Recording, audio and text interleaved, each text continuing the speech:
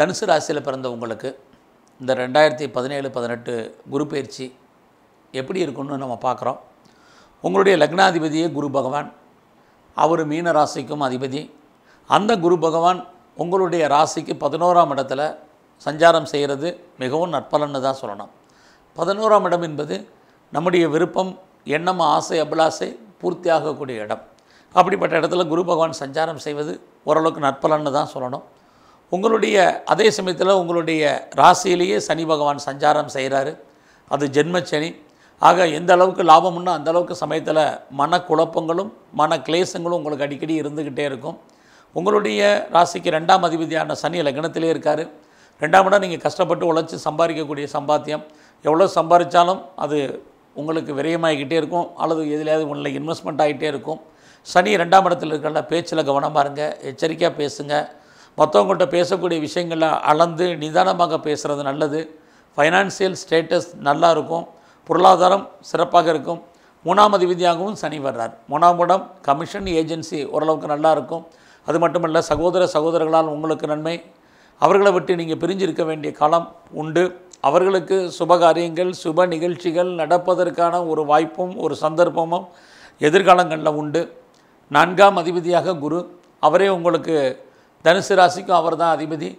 அப்படி இருக்கிறனால ப்ராப்பர்ட்டிஸ் இந்த களங்களில் வாங்காதவங்களுக்கு ஒரு சிலருக்கு வாங்குவதற்கான ஒரு வாய்ப்பு சொந்தமாக வீடு வண்டி வாகனங்கள் நிறைய வீட்டு உபயோகப் பொருட்கள் அத்தனையுமே வாங்குவதற்கான வாய்ப்பு. எல்லாத்துக்கு மேலே குரு கோல்டு தங்கம் புதுசாக நியூ ட்ரெஸ்ஸஸ் அடிக்கடி இந்த காலங்களில் நீங்கள் போடுவீங்க. அஞ்சாம் அதிபதியாக செவ்வாய் வர்றாரு. உங்களுடைய குழந்த பாக்கியம் இல்லாதவங்களுக்கு குழந்த பாக்கியம் உண்டு.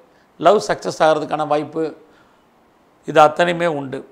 அதே சமயத்தில் அஞ்சாம் இடத்துல செவ்வாய் சஞ்சாரம் நீங்கள் யாருக்கும் வேலையை விட்டு வெளியில் வரவோ அல்லது வெளியேற்றப்படவோ ஒரு வாய்ப்பு உண்டு.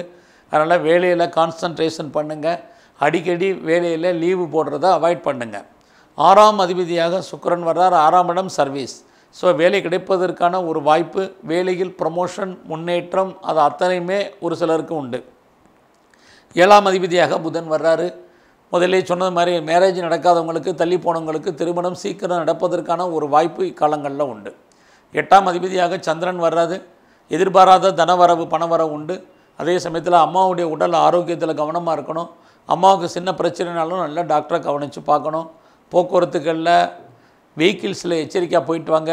லிஃப்ட்டில் எலிவேட்டர்ஸில் எஸ்கலேட்டர்ஸில் இறங்கும்போது மாடியில் ஏறி இறங்கும் போதெல்லாம் ரொம்ப கவனமாக இறங்குங்க. அரசாங்க விஷயத்தில் கவனமாக இருங்க. டேக்ஸ் பேயபிள் எது இருந்ததுன்னா பேலன்ஸ் இல்லாமல் பண்ணுங்கள் இது எல்லாமே இந்த காலத்தில் ரொம்ப ரொம்ப முக்கியம். எட்டாம் இடத்துல சந்திரன் செஞ்சரிக்கக்கூடிய காலங்களில் ஆப்ரேஷன் ஏதாவது பண்ணுறதா இருந்தால் அதை இந்த சந்தர்ப்பத்தில் நீங்கள் வச்சுக்கலாம். ஒன்பதாம் அதிபதியாக சூரியன் வெளிநாடு செல்வதற்கான வாய்ப்பு ஹையர் ஸ்டடி ஹையர் எஜுகேஷனுக்காக வெளி அப்ராடு ஒரு சிலர் ஆன்சைட்டுக்காக அப்ராடு செல்வதற்கான வாய்ப்பு இது அத்தனையுமே உண்டு. அடிக்கடி கோயிலுக்கு போகிறதுக்கு ஆலய தரிசனம் தெய்வ தரிசனம் மகான்களுடைய தரிசனம் கிடைப்பதற்கான ஒரு வாய்ப்பும் சந்தர்ப்பம் உண்டு. பத்தாம் அதிபதியாக புதன் வர்றாரு. உங்களுடைய கௌரவம் அந்தஸ்து புகழ் செல்வம் செல்வாக்கு கீர்த்தி கூடும். பதினொன்றாம் அதிபதியாக சுக்கரன். பெண்களால் சகாயம். குறிப்பாக ஃப்ரெண்ட்ஷிப்பால் நமக்கு நன்மை. குறிப்பாக பெண் ஃப்ரெண்ட்ஷிப்பால் நமக்கு நன்மை சகாயம் ஆதாயங்கள் உண்டு. பன்னெண்டாம் அதிபதியாக ஜாதகத்தில் செவ்வாய் வர்றாரு. பன்னெண்டாம் இடம் விரயம் நஷ்டம். நம்முடைய சகோதர சகோதரர்களுக்காக நமக்கு நிறைய செலவு பண்ண வேண்டிய காலங்கள் உண்டு.